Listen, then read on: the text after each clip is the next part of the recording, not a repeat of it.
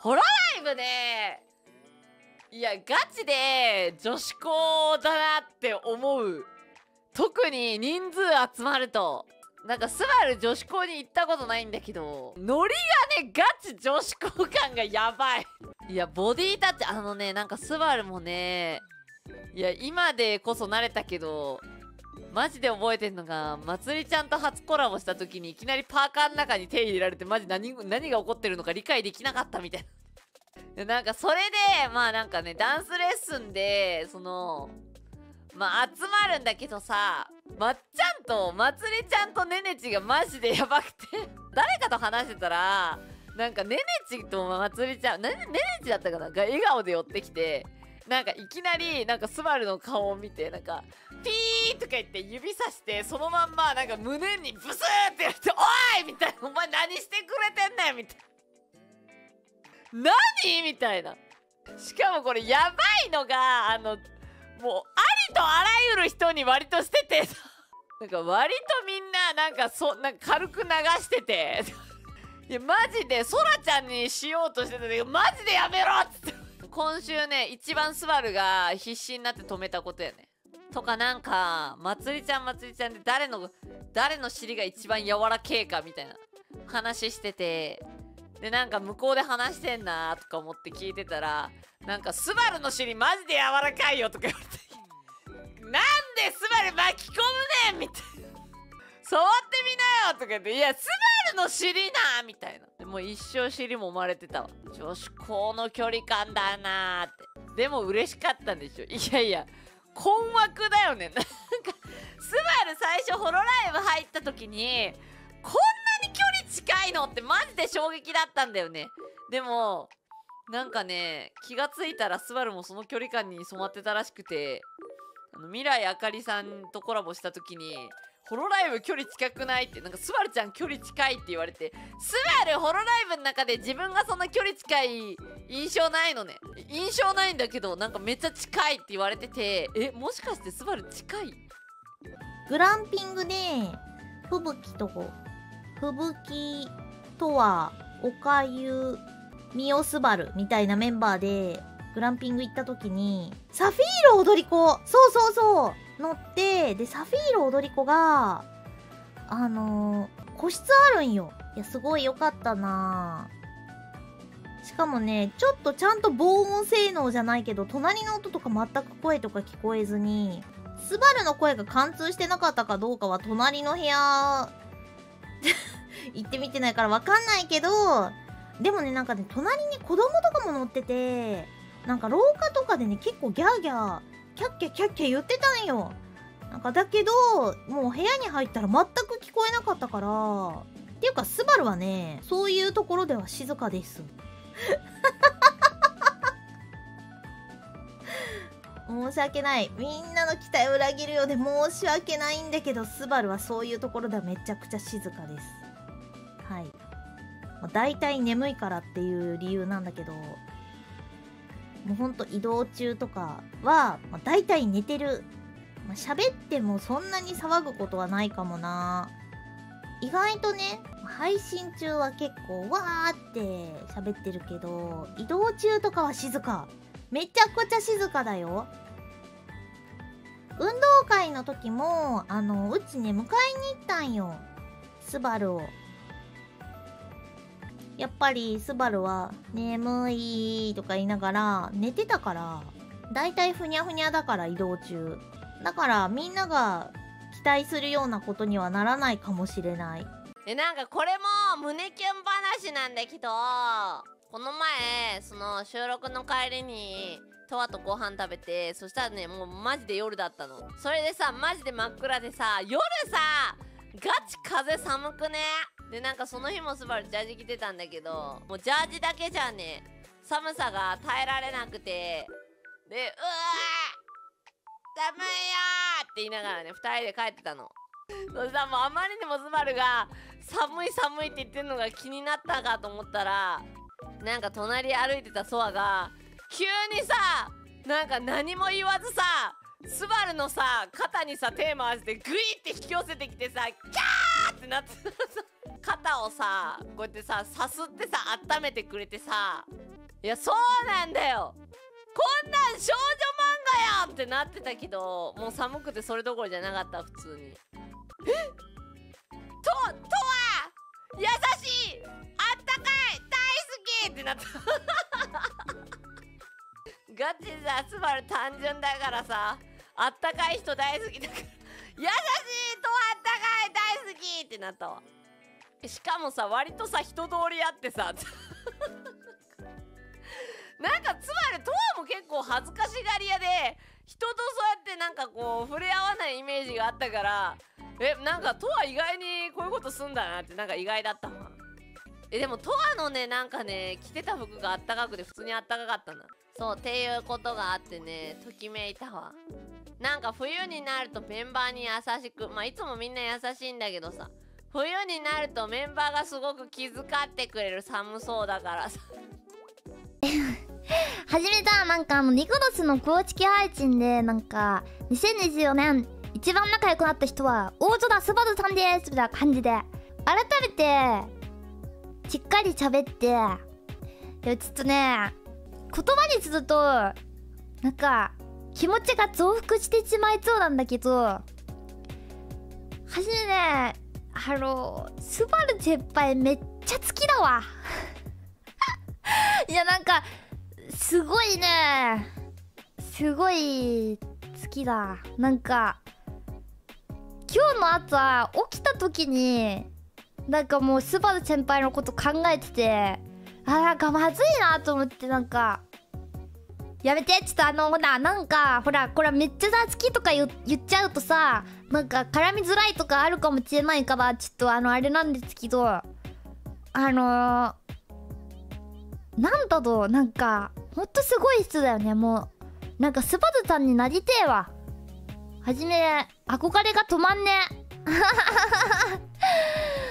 憧れが止まんねえよ。なんかなりたい。ああいう人になりたいなって。思ったで。いや太陽だにゃスバルちゃんみたいになりてえわいや面白いち。軌道修正もすごいちや。配慮がすごいにゃしかも言葉もポンポン出てくるじゃすげえなって思ってた4時間ぐらいだったじゃん。これはいけない太陽。どういうことだ。全然いけない太陽ではないだと。いやねもう本当になんかいろいろ拾ってくれてもうありがたいですね。ボケのいくつたちが気持ちよすぎて。もうねいやそうなりたい本当に。もうそうなりたいしかちょっと出てこないわ。であとねあのー、なんだっけ。アーニャさんたちとのねコラボもあったね。アーニャさんたちとのコラボなんか アイリスがぶっ飛ばしすぎててめっちゃ面白かった。アイリスがアイリスがなんかアイリス人生ゲームアイリスってこんな感じだったっけと。なんかさアイリスってなんかもっと穏やかなイメージあったんだけどなみたいな。アイリスなんかぶっ飛ばしてるな今日と思ってね。一人だけ別ゲーだったよね。アイリスが一番クレイジーだよ。えクレイジーなのはオリーでは？アイリスなの？あそうなんだ。スプラとか激しいんだアイリス。えー、番長がアヒージョになってた。えあのさ切り抜き見たんだけどいやめっちゃ嬉しかったよ。いやスバルがねああいう感じというかねそう思ってもらえるのもねあの全てはさなんかあのスバルはフブちゃんの真似してるだけだからさスバルがねなんかフブちゃんにすごい助けてもらってさデビューしたての頃。でまあ分かんないからやっぱり。そうでしてもらったことをね今ねあのー、後輩ちゃんたちにできたらいいなと思ってるだけなのでねもう本当にねなんかそうまた初めもねなんかあの後輩ができた時にこれが伝わっていくと激アツやなと思って話聞いてた。ホロライブあったけね優しくしてもらうとねそれをまたね自分の番になった時にしようってなるのがすごいいいよね。はじめはじめなんかめちゃめちゃおもろいけどななんか。いや本当にね初めはねもうなんかあの最強の面白さを持ってるからそのままでねいてくれ。しかも初めめっちゃ礼儀正しいしな。でもばあちゃんはもうめちゃめちゃ礼儀正しいって感じ。いやだからねすごいあの切り抜き見て嬉しかった。嬉しかったしあのー、アーニャとねアイリスはいや JP より JP してるなってアーカイブ見て思った。会話がさなんだったら JP よりテンポいいまであるじゃん。もう街中で聞こえてくる会話だもん普通の。JP よりテンポいいでしょ。でなんかさこの前スモックでコラボしたんだけどさでコロネといた時になんかなんだでも確かに近いかもって思った。なんかあのさ家族の距離感が常にあるから家族って別にそんな離れないじゃん。なんか仲のいいお姉ちゃんと一緒にいる時ってなんかさひっついていたくなるじゃん。ひっついてたりとかなんか変な行動してなんか構ってもらいたくなるじゃん。なんかそれが常にホロライブ多分あってなんかね隣にねになんか人形があったんだけどぬいぐるみが。なんかそれ持ってなんかコロネにちょっかいかけたりとか ちょっかいかけるとコロネも乗ってくれるみたいな。なんかその距離感でずっといるからもうあれなんだよね。バグってるのかもしれない。でコロネもさなんかさスバルが寒がりなの分かってるからさなんか「はいこれクッションね。はいこれブランケットね。はいこれ人形ね」みたいな感じ。感じでなんか用意してくれるからそうなんかね楽しいんだよね。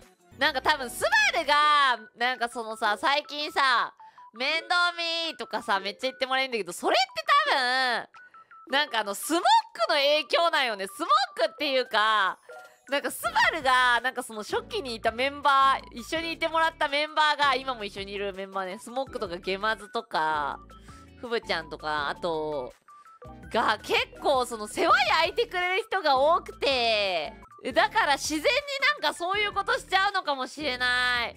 いやそうそうそう。みんなね最初の頃ずっと相談乗っててくれてたから。なんかそんな気がする。ね。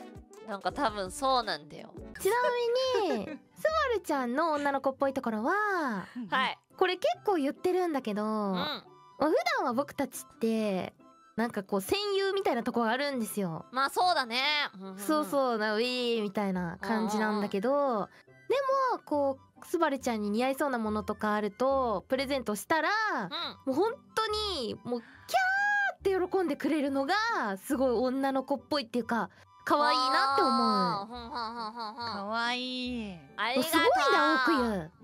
えすごいですね。プレゼントしたくなりますね。それを。そう再現していいちょっとはい。あやってほしい。青く湯が僕をスバルちゃんだと思ってプレゼント渡してみてもらってもいい？あじゃあやります。うんスバル先輩これ似合うと思ってえ？似合うと思ってえ？買ったお花どうぞ受け取ってください。あうわあか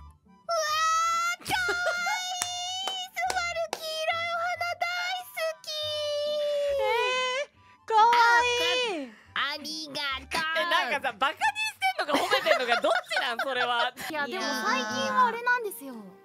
自分が最ねちょっとメ最スになるとともにうんうん。こうこの前スバルちゃんとライブアライブやってた時もあそうですね。